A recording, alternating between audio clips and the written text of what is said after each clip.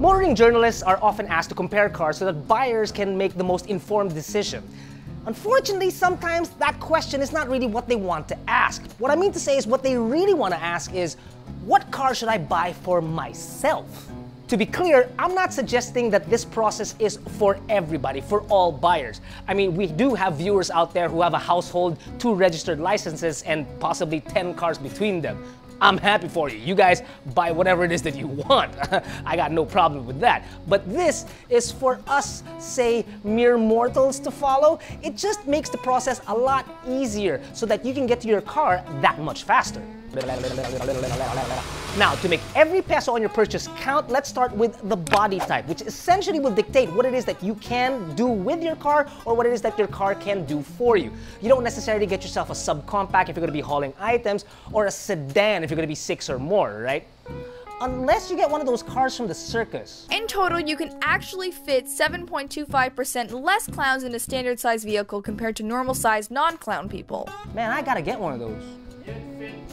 Shut up, Earl! There are various subcategories, but using Autodeal's platform will yield you from the tiniest of hatchbacks to the largest of vans. This is where the process should begin.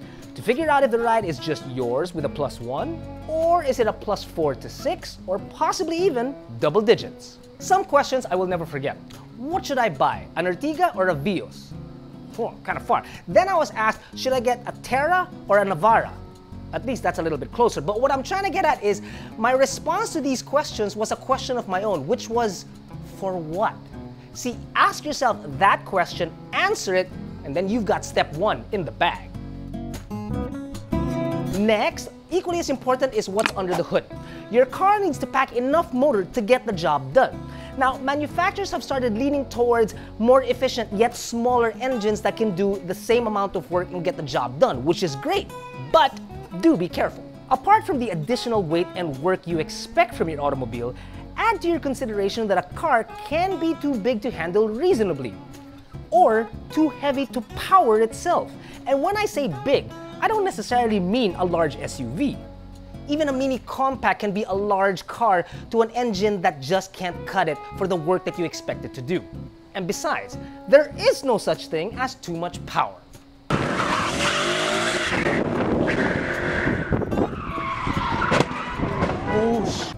Yeah, okay, maybe there is.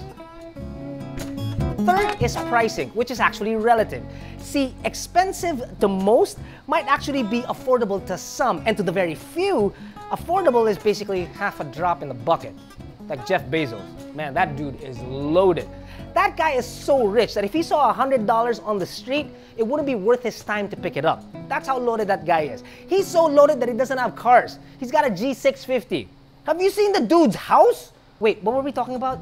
Price! Yes, okay, back to the topic. So, I can sugarcoat it all you want, or tell you what, we can rip it off like. Uh... If you can afford a new car, great. Congratulations. That is no small feat. But don't go trying to kill yourself to pay off a car, or perhaps bring your credit rating down so low that even moles use it as toilet paper. Not good you don't really want to look at your kids and say, guess what's for dinner? Your hopes and dreams. Now go to bed. Dude, that was so mean.